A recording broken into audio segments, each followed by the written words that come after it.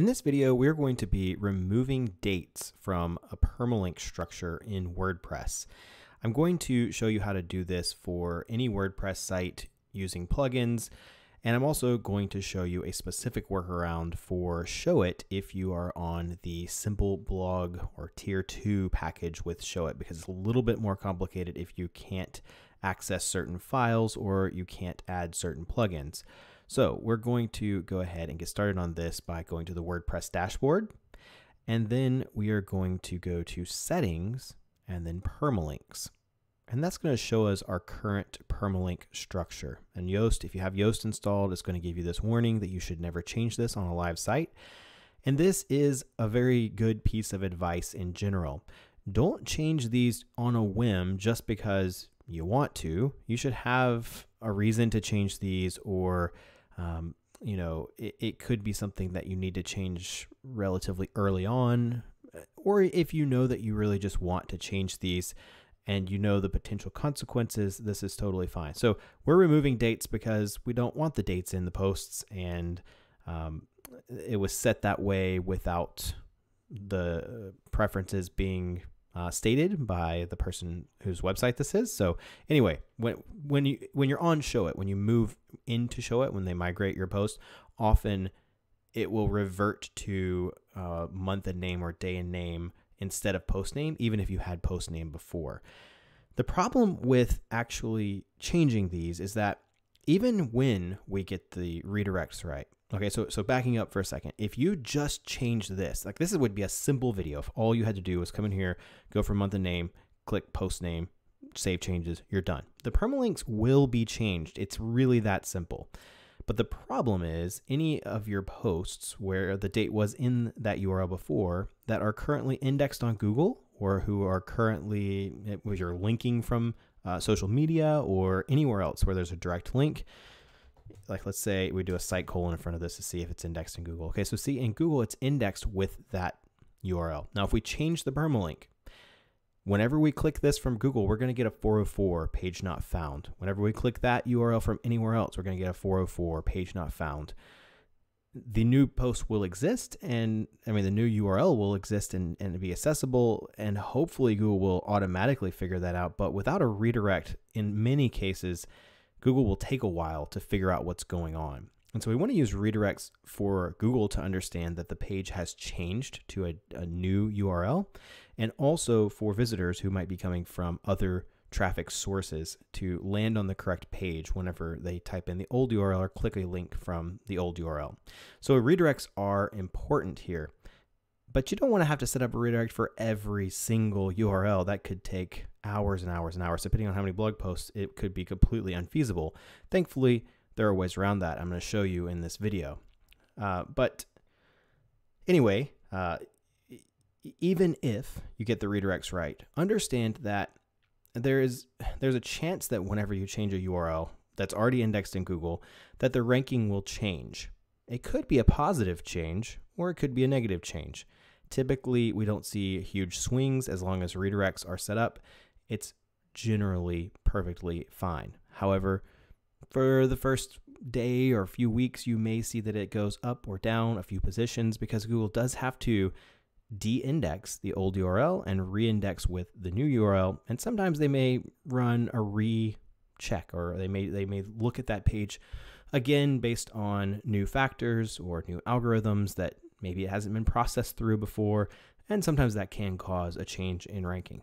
So don't worry about it too much, but just understand that that is a possibility here. Uh, okay, now what we're going to do is we're actually going to use a, a tool, a web tool for from Yoast. It's called the Permalink Helper. So if you just uh, Google search Yoast Permalink Helper, you should find this. It's yoast.com slash research slash permalink dash helper dot php. I bookmarked this because I use it all the time. Uh, and what we're going to do is we're just going to take the URL exactly as it appears, the canonical URL. In this case, https colon slash slash uh, vincentimages.com with the backslash at the end, just like that. And then it's going to ask, is your WordPress running in a subfolder, for instance, slash blog? Add it here. In 95% of cases, the answer is going to be no, and you're just going to leave that blank. Uh, if you're on Showit, like we are in this example, the answer should always be no. You leave that blank. If you do have it installed in a subfolder, you should probably know that. And in your permalink structure, you should be seeing slash uh, that like it would be blog slash in that example. Uh, at least in some cases, it depends on how it's set up. It can get a little complex. For the most part, if you don't uh, know that you're in a subfolder, you're probably not, and you'll probably be okay here. So just leave that blank. We can leave this set to Apache in this case. If you know that your web server is something different, uh, you can change this to Nginx, but for Showit, we're going to leave this on Apache. And then we want to pick our old permalink structure. That's what we're on currently. So month and name is what we're on now. We're going to check that, and then we're just going to click generate redirect. That's very simple. And then it's going to give us this, this little, inside this little box right here, we're going to copy all of that. Now, if you're using Yoast and you uh, have the ability to access the tools section of Yoast, then we're going to use the htaccess. We're going to use that to edit the htaccess file. So we would go here and we go under tools, or I'm sorry, we go to Yoast and go to tools. And then under here, we're going to have file editor. Click that and then we'll have the htaccess file here. Now, again, if you are on Showit Tier 2 or the simple blog, let's see, what is it called? Basic blog package, you will not be able to access this section. You cannot get into the htaccess. Um, now, in this case, this really shouldn't have both of these, but I'm not going to mess with that right now. I'm just going to come here. We're going to go at the very beginning, put some space there. We're going to paste in what we got from over here on that tool. Now, again, with Yoast, where you can get to the tool section, this is the easiest way to do it. Now, before I save that, I'm going to go ahead and go back here. Uh, let's even open a blog post just so we'll have something to reference to make sure this is working. All right, and we're going to go here to post name, click save. And then if we were to refresh right now, it's going to give us a 404 page not found. Now, in this case, it still shows up. But if I click this, well, now it goes to the new URL. I'm sorry. But anyway, this particular template theme doesn't have a 404 um, template set up, but it is a page not found. It's not finding that URL right here. It's giving us an archive feed instead. Okay, so what we want to do is go ahead and go back in here and click save make sure you're careful because getting the wrong thing in htaccess can crash your site. But as long as you copy and paste that exactly and don't mess with anything else, you should be fine. Now we're going to go back here and we're going to try it again. So let's refresh that. And look at that. It redirected over to the new URL. Now that took care of that across the board and the entire site. All of the posts are now, uh, they don't have the date in the URL and they have a redirect from that date-based URL over to uh, the new URL without, or the new permalink setting without the date. All right, so let me show you the workaround if you do not have uh, the ability to access the tools section on Yoast. Again, if you're on tier two on Showit, you will not have that ability. However, now this one, this site is on tier three on Showit, so we can kind of add whatever plugins we want.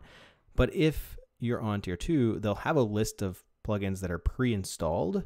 And in this case, the one you're going to look for is redirection. Now you may need to activate it in your case uh, if it's not already activated. And once you activate that, you can go to settings or you can go to tools, redirection.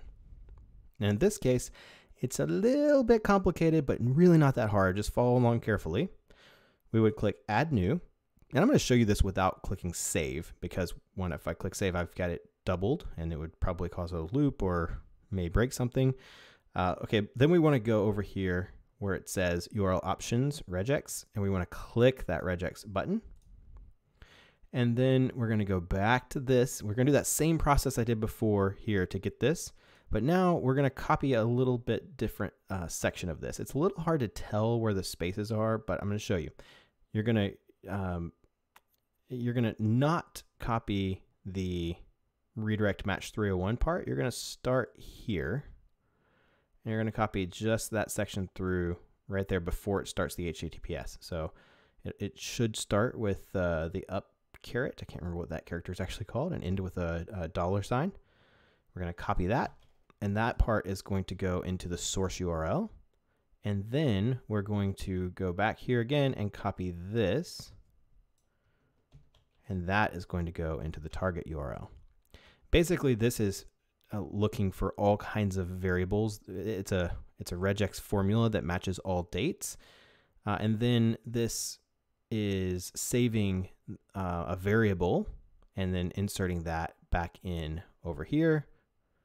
Um, and that's that's going to work just fine. So if you click save on that, uh, it would work the exact same way. Uh, let's even just test it one time, just for the heck of it.